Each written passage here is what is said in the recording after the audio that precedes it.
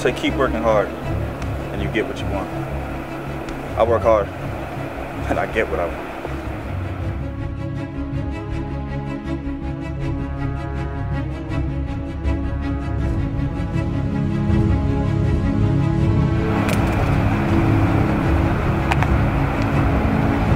I own on the upside of 400 apartments in the tri-state area.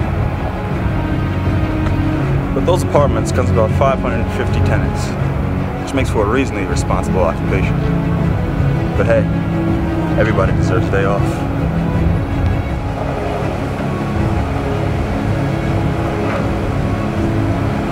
Italian mix, please.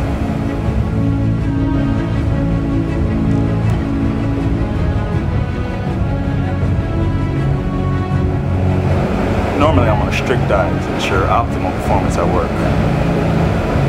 But how do I turn down a sandwich from my favorite delicatessen in town? Well, that one Friday I got.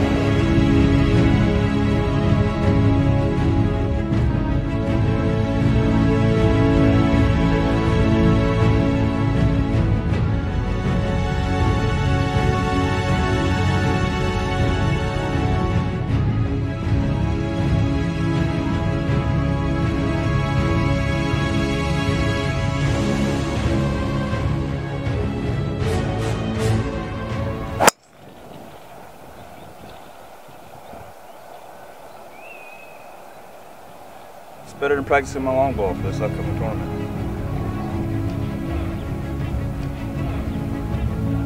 Richard got injured this past week. Someone's got put in the slack. Excuse me, sir. Did you say something? I'm sorry. Not a word, man. Oh. Okay.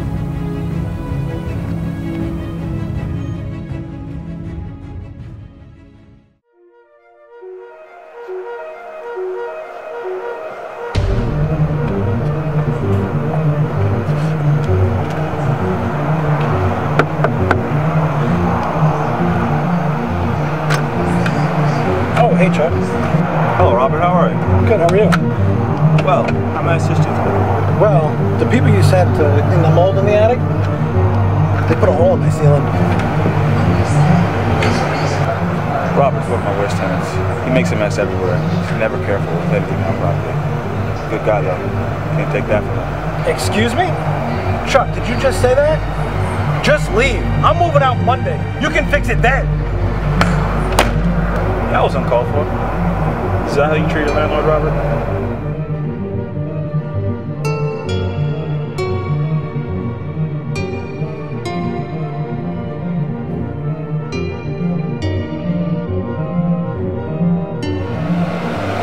It never ceases to amaze me that I can never get a full day off.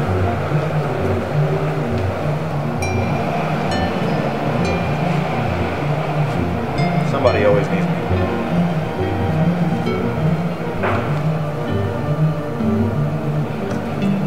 course, I respect responsibilities of my work. It's one calm day too much to ask for?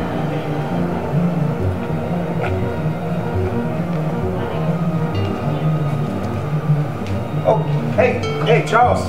Hey, how's my favorite landlord doing today? Just fine, you? Uh, you know, I'm just uh, running some errands. I was actually wondering if you could get some guys to go by the property. The grass is getting pretty high.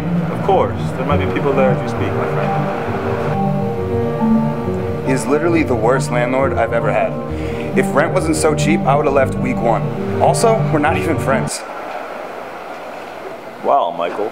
From that statement, I just realized you are one dumb mother. and action.